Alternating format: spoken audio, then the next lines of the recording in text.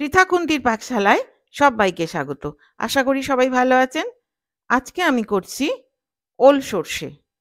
তার জন্য উপকরণগুলো দেখিয়ে দিই। এখানে আছে সাতশো পঞ্চাশ গ্রাম ওজনের ওলের টুকরো। সর্ষের তেল প্রয়োজন মতো। ওয়ান ফোর চা চামচ হলুদ গুঁড়ো। ওয়ান ফোর চা চামচ কালো জিরে। ছটা চেরা কাঁচা লঙ্কা।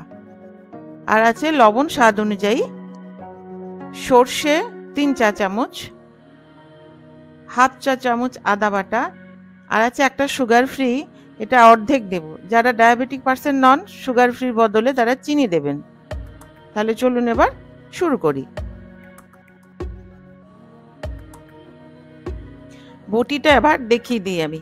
ওলটা কাটার আগে বটিটা দেখিয়ে দিচ্ছি। দেখুন, বটির পেছনটা একটা কাঠ লাগানো আছে এভাবে। এবার এটা টেবিলে রেখে একটু ঠেলে দিলেই এটা আটকে যাবে। টেবিলের সাথে। রাখলাম। ঠেলে দিলাম। এই যে আটকে গেল। এবার কিন্তু এটা নড়ছে না। আজকাল অনেকেরই তো কোমর ব্যথা, হাঁটু ব্যথা, পা ব্যথা, নিচে বসতে পারেন না। এবারে ওলগুলো আমি টুকরো করে কেটে নেব। দেখিয়ে দিচ্ছি কি করে কাটতে হবে।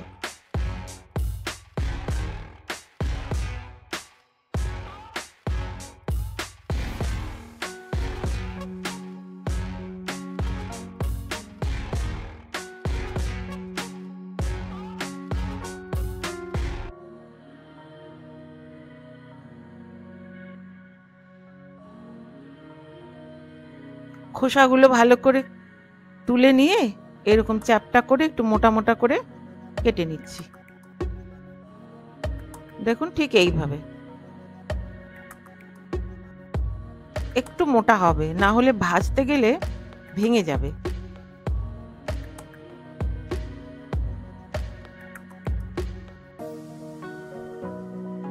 এইভাবেই কেটে নেব। এই বটিটা দেখুন, আমি কাটছি, বটিটা কিন্তু নড়ছে না। এটা যে কোনো জায়গায় আটকানো যায়, যেখানে আটকানো যাবে। টেবিল বলুন, পড়ার টেবিল বলুন, ডাইনিং টেবিল বলুন। তাহলে কাটতে সুবিধা হয়। এটা আমাকে আমার যা গিফট করেছে, সঞ্চিতা, মমি বলে ডাকি। দেখুন ঠিক এইভাবে কেটে নিতে হবে। এইভাবে আমি সবগুলোই কেটে নিচ্ছি। গ্যাসটা এবারে অন করে দিলাম। গরম হয়ে গেছে। এইবারে আমি দিয়ে দিলাম এর মধ্যে সর্ষের তেল। সর্ষের তেলটা দিয়ে গরম করে নেব। তিন চামচ সর্ষের তেল দিলাম। তেলটা গরম হয়ে গেছে। এর মধ্যে আমি দিয়ে দিলাম এবার কালো জিরে। একটু নেড়ে নেব। যখন ফুটবে চিটচিট করে ফুটলো, কালো জিরাটা ভাজা হয়ে গেছে। এইবারে আমি ধীরে ধীরে দিয়ে দেবো। এই ওল ধুয়ে খুব ভালো করে ধুয়ে জল ঝরিয়ে রেখেছি। এই ওলগুলো আমি এবার দিয়ে দেবো।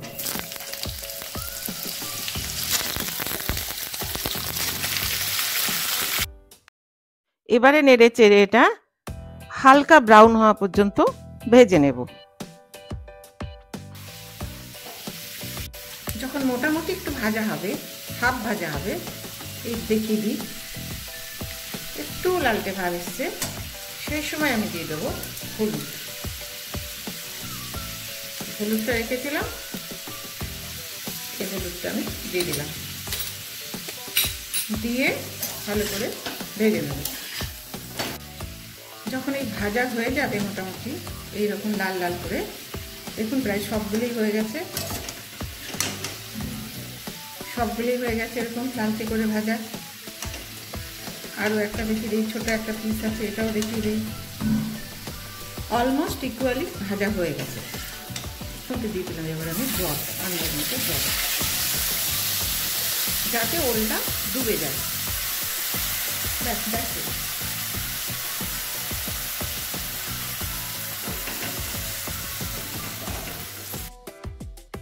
দিয়ে দিচ্ছি আন্দাজ মতো লবণ।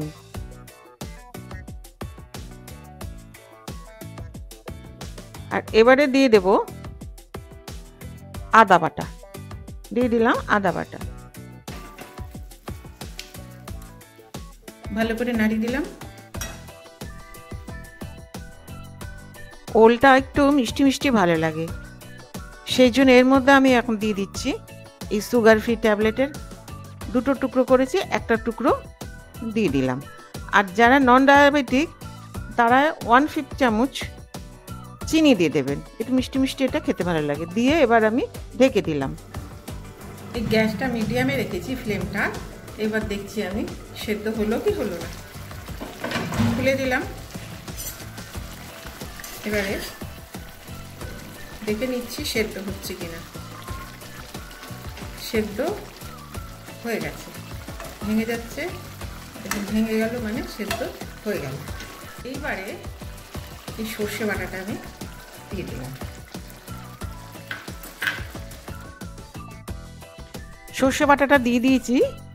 এবারে এই সর্ষের বাটি ধোয়া জলটাও দিয়ে দিচ্ছি। দিয়ে দিলাম। দিয়ে ভালো করে মিশিয়ে নেব। আর এই সর্ষে বাটার সাথে তিনটে কাঁচা লঙ্কাও বেটে দিয়েছি। ভালো করে নেড়ে দিলাম। ভালো করে নেড়ে নিয়ে পাঁচ মিনিটের জন্য ঢেকে রেখে দেব। যাতে সর্ষের কাঁচা গন্ধটা চলে যায়। ঢেকে দিলাম। পাঁচ মিনিট হয়ে গেল। এবারে খুলে দেখছি কেমন হলো।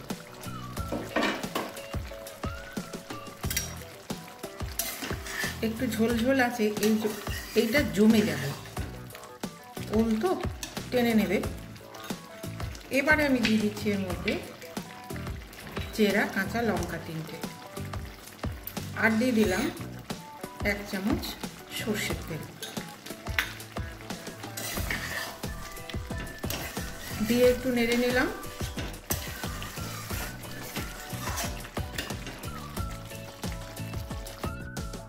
এবারে এটা আমি ঢেকে দিচ্ছি। ঢেকে গ্যাসটা বন্ধ করে দিচ্ছি। দিয়ে দু মিনিট রেখে দেবো। গ্যাসটা সঙ্গে সঙ্গেই বন্ধ করে দিলাম। দু মিনিট হয়ে গেছে স্ট্যান্ডিং টাইম এবার ঢাকনাটা খুললাম। খুলে এবারে আমি এটা তুলে নিচ্ছি বাটিটা একটু ঝোল ঝোলে রাখা হয়েছে কারণ এটা জমে যাবে, একদম শুকনো হয়ে যাবে। এইভাবে আমি তুলে নেব। তাহলে বন্ধুরা, তৈরি আমার ওল সর্ষে। এটা বাড়িতে করুন, খান আর আমাকে কমেন্ট করে জানান কেমন লাগল।